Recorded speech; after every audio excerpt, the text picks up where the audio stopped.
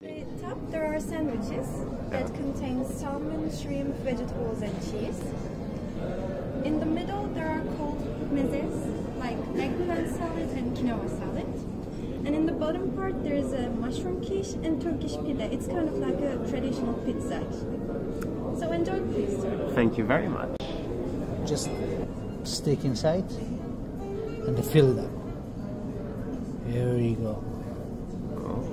Enjoy, please. Thank you.